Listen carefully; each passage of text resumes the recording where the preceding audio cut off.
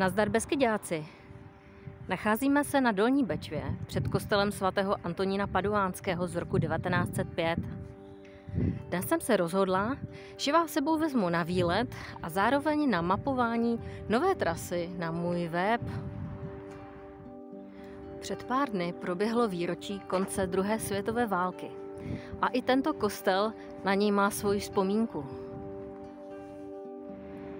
Na lípě před kostelem byl oběšen Hinek Tošenovský, pekař, který dodával chleba partizánu. Jeho exekuci musela přihlížet manželka a dvě děti.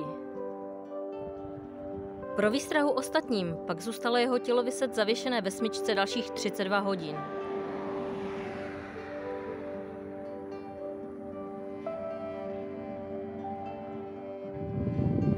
Alej u kostela pak byla na jeho památku pojmenována Alej Hinka Tošenovského.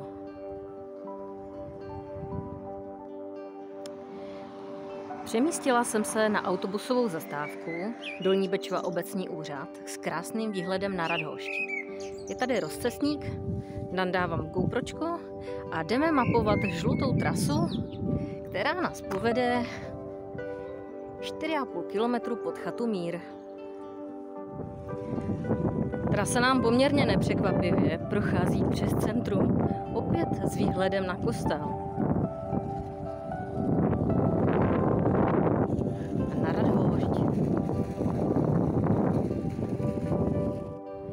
V obci se nachází také interaktivní mapa. Já bych se chtěla něco více dozvědět o obci Dolní Bečva. A tak bych měla zmáčknout jedničku.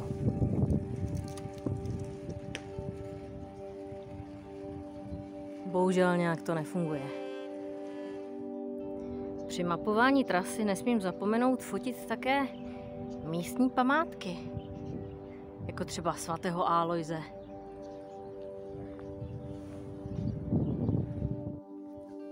Už nad kostelem jsem zjistila, že údaj v mapě CZ se odlišuje od skutečnosti a že žlutá turistická značka tam nezabočuje doleva, ale vede rovně a pokračuje alejí až sem k hřbitovu, kde by měl být umístěn kříž z roku 1888. Ten výhled na Radhošť odsud je ovšem fantastický.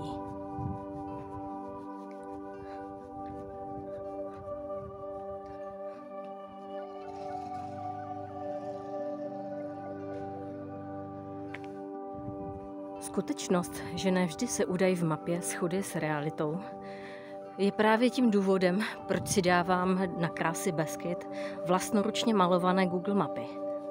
Chci být přesnější než mapy CZ. Toto je výhled, který rozhodně stojí za to zaznamenat.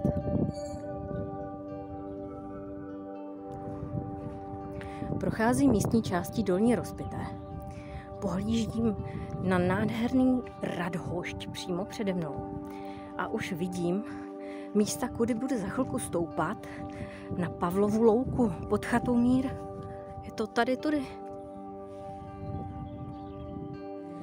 Jenom pomyslete, že až sem je vidět z webkamery na střeše horského hotelu Radegast.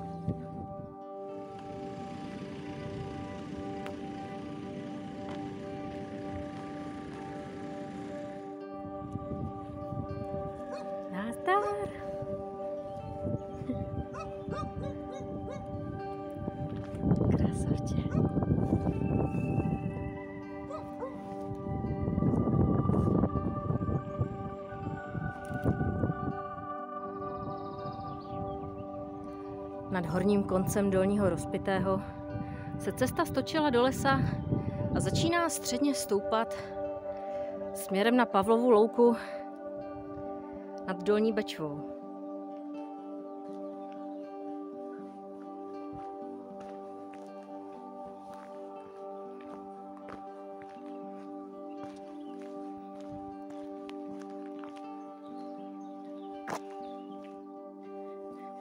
Středně stoupová lesní cesta mě přivádí na rozcestí Pavlova louka, kde, jak vidím, je směrovka 500 metrů ke zvonici.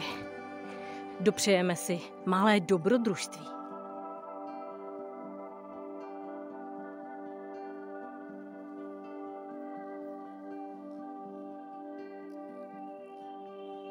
Neznačenými zákrutami jen podle mapy jsem došla až na vršek osady Pavlova Louka, kde je takovýhle nádherný výhled na Radhošť.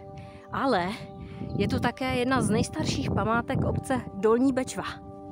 Zvonička dřevěná s originálním zvonem z roku 1778. Tady na Pavlově louce je svět nádherný. Když si budete hledat něco o této zvoničce, dočtete se, že se na ní zvonil umíráček, kdykoliv odešel některý z místních osadníků. Zároveň se pomocí zvuku zvonu údajně navzájem zdravili obyvatele jednotlivých okolních samot. Zkrátka, aby všichni věděli, že je všechno v pořádku. A já vám z Pavlovy louky můžu rovnou říct, že tady je svět ještě v pořádku.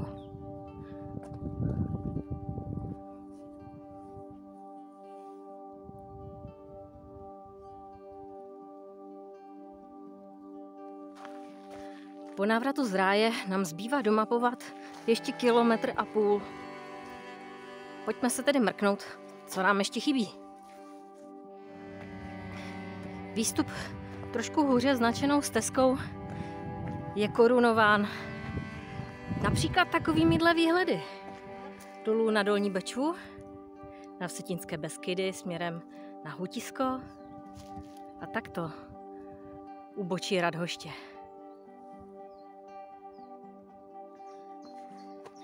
A další panoráma.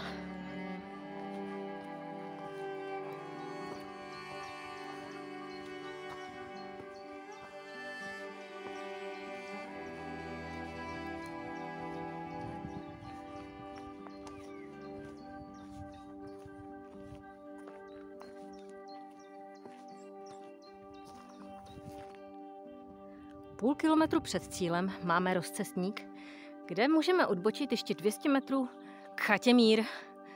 Samozřejmě my si tu odbočku uděláme. Žlutá trasa pak pokračuje ještě půl kilometru k rozcestí, kde se setká s turistickou značkou směřující na Radhošť. Tam už pak nic zajímavého není. Takže pojďme na tu chatu Mír a rozhodneme se, co dál. Jo a od rozcestí Další nádherný výhled.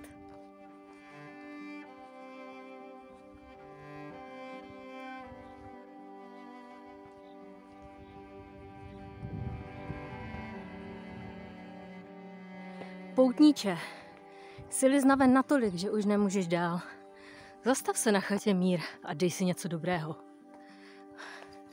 Pak, když chceš jít ještě se mnou dál, pojď, následuj popis trasy která bude mít na krásách Beskyt pořadové číslo 201.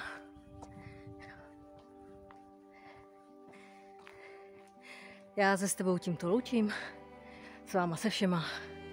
Mějte krásný zbytek dne a u příštího videa zase na viděnou.